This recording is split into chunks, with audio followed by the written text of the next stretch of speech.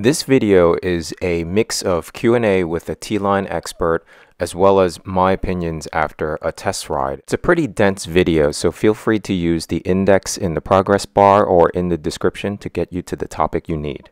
Thank you guys for your love and support. It seems like you guys enjoy my meta reviews, so I will continue this route. I hope this video will help you with your buying decision. Let's get to it. The holes, this one. and then water could get in there and things like that. Can it?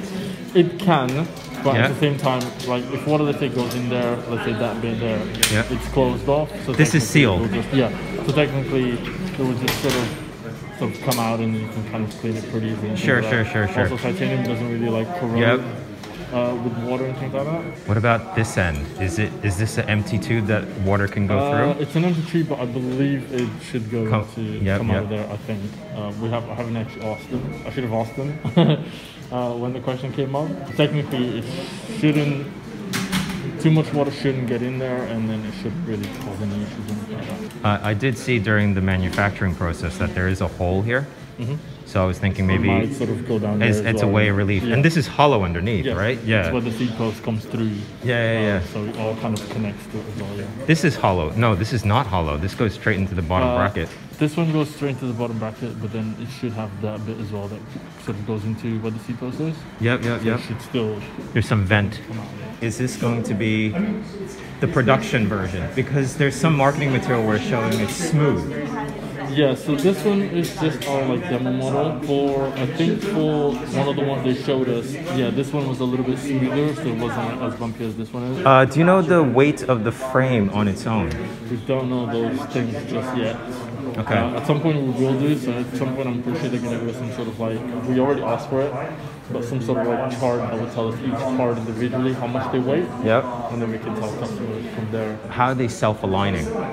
So they have. So, so as you remove that.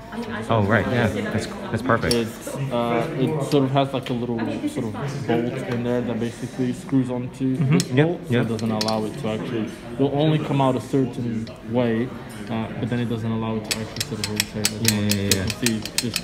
Yeah, yeah, it that's perfect. basically goes about that much, but it shouldn't go more than that. Yeah, yeah. So every time you close that up and then you wanna like do it, Yep. it should just kind of stay in the same spot. So technically, you shouldn't even be able to touch that. Yeah, To yeah, as you unscrew it, Yep, and then you that's fold enough, it back. sorry. Yeah, and then you fold it back up again to be able to just. At some point, there might be a new record for someone trying to like unfold and fold the bronze. That's right. That's right. Uh, right now, it's like under five seconds. It should be under like four seconds, three seconds. Now that you mentioned that, you know what's up with the the quick release now? That's So That's that new. is two buttons that you press here, and then it just comes out. Yep. Uh, and then that goes underneath the fork, which is just magnetic. yep. So it just stays there pretty nicely. Nice. After you unfold it, you just basically take it out, Yep. and then you just. Sometimes you need to be a little bit forceful with it. But Oh, was that a turn push or just a I push? I think they say that it has like a, an alignment bit, but it doesn't have anything. It's just, Okay. You just gotta like push it in. But sometimes just a bit of a hustle, but just kind of give Okay. it quite sort of like press push. Well, let me know.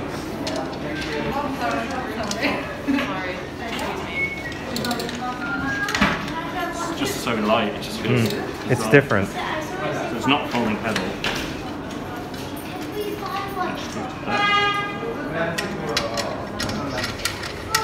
So strange because it's sort of hollow.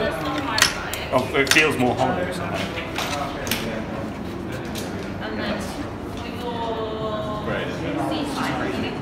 So the pedal comes off somehow, right? Yeah, two two finger button. That's it. And it clips in just in there. Okay. Oh, right. Just I don't know if I find that easy. Just holding that. Yeah, I quite like this. Oh, there you go. The whole rear end from here and this whole bit here is basically The P line. Yeah. yes, same exact. Same exact bit. Like you Yeah, yeah, apart from the But from these, which are slightly different compared to the P-line, they're supposed to be a lot easier to remove. Handlebars carbon, uh, both the M and the S, uh, the medium and the low basically, uh, fit onto the same stem. Yeah. So you don't actually have like different stems as if, as if Oh, you right. have on the C S- line. yeah, yeah, yeah. yeah. So it's just one stem uh, height, and then both uh, Yeah. mid and low bar will fit onto it. Obviously, the only thing is that you have to change the cables. So basically, what you're saying is I could get the urban or the one, but I could get it as a low or a high, and then the high is the curved, Yeah. the low is the straight bar. Yeah. The bars, we I think they're a slightly bit wider. Has a little bit more control over it. Yeah. To prevent the thing from rubbing against the. I think they just put like a little sort of uh, plastic sort of Yeah. transparent bit just to kind of stop it from rubbing. Yeah, yeah, yeah, yeah. Sort of ruining the carbon. Yeah, yeah, yeah. Yeah. Okay. So this is really just a sticker that you could replace Yeah. over time. Yeah, so if the sticker kind of wears out, you can just sort of. Just replace it. Question about the stem here. Is this the, the same plastic sleeve that they have? So this whole bit here is different, Mm-hmm. but the post sleeve inside should be the same. Okay. Because it still fits the same uh, diameter. It's the same diameter. Same diameter for all the other posts. Ah, so you could change this back to steel if you want? If you wanted to, yeah. Yes. Yeah. Um, yeah, the seat post is uh, carbon, Yep. but then it has a little bit of uh, like a 0.3 millimeter uh, like uh, steel around it, to Mm-hmm. kind of like protect it a little bit more. Yeah. It will wear, wear out a little bit quicker uh, in terms of like the color uh, compared to like a normal steel uh, Uh, the, the black edition. Yeah. Um, so don't know if you can see yourself right now, but around like here, you can see there's like some lines already. I see. So over time, you'll see more lines coming through around the whole seat post, which is like the carbon underneath. Okay. Um, so that will be like something that happens to it. That's fine. Thanks for Um, being honest. Once it does, yeah, once it does, it actually looks a bit cool. But I'm It's kind of like uh, wearing a pair of jeans, I guess. yeah, yeah. also, the seat post, the carbon one only comes in the standard and the extended one. The Okay. telescopic one is still a steel one, still the normal steel telescopic. Okay. The saddle has carbon rails which are oval shaped. The new Pentaclip can accommodate both round and oval rails. The black screws you see right underneath the chain enables you to remove the chain ring without you having to replace the entire chain set. Some say you could gauge how many folds this Brompton had based on the size of that spot created by tire rubbing. Chain is like a 10 speed chain from like a mountain bike or Yep. a road bike. Yep, yep, yep. And then the, the four uh, smaller one, smaller cogs are from a mountain bike as well. Okay. um, from like the gearing. Uh, this bit here, or the gearing bit here is was made, designed by Brompton. That they gave us the, the exact weight of it. I think they said it's about 60, 60 grams, or grams, so. yeah. Uh, so that's like the only part that they've advertised.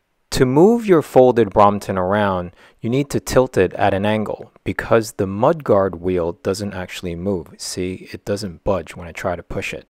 If you tilt it too far back, the suspension block would start rubbing against the ground. When folded, the bike is actually quite stable. It doesn't tip over when I push it on its side.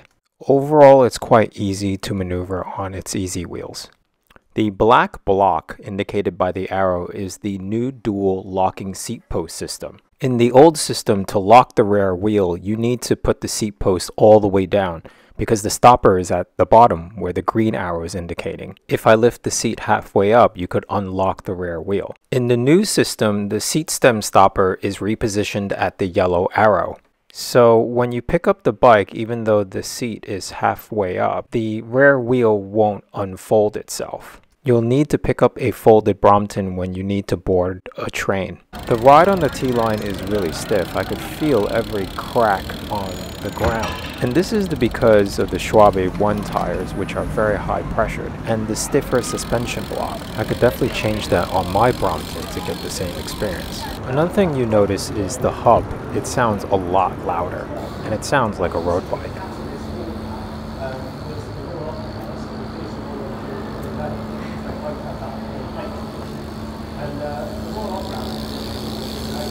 Because it's so light and the Schwalbe tires have very little rolling resistance, on a single push I could actually glide really far. I feel like most people will change those, especially if they're going to use it every day. What did you change it out to? Now it's on races, 10 volt, like really easy to take off, and but they still last a really long time. So now obviously they have Tubolito. Uh, That's right. tubes. Yeah, I recognize the orange. The orange, yeah.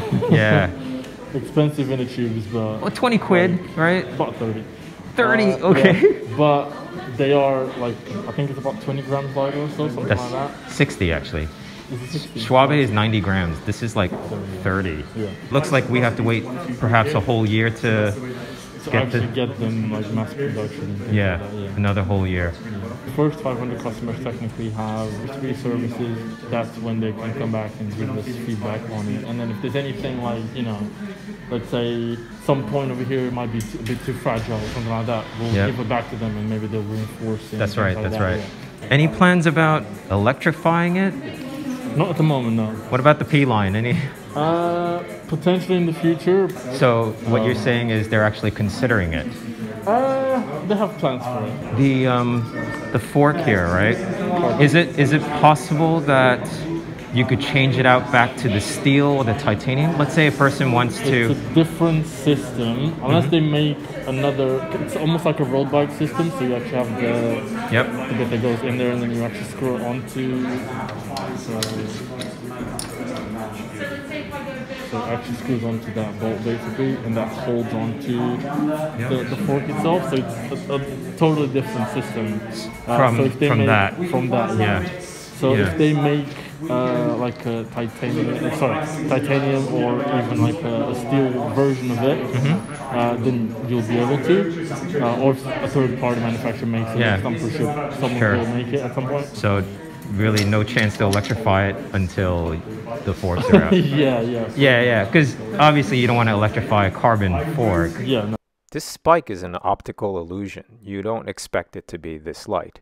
But you could test the weight at home. Just lift up a dumbbell that's 8 kg. This bike is a performance bike. It can help you break personal records.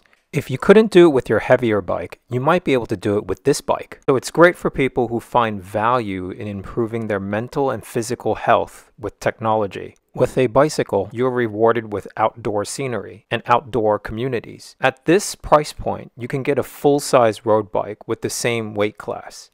So consider the T line if you need to maintain your existing living space, which is a premium these days. I hope you found this review helpful. If you'd like to see more, just like and subscribe, and I'll see you next time. Bye.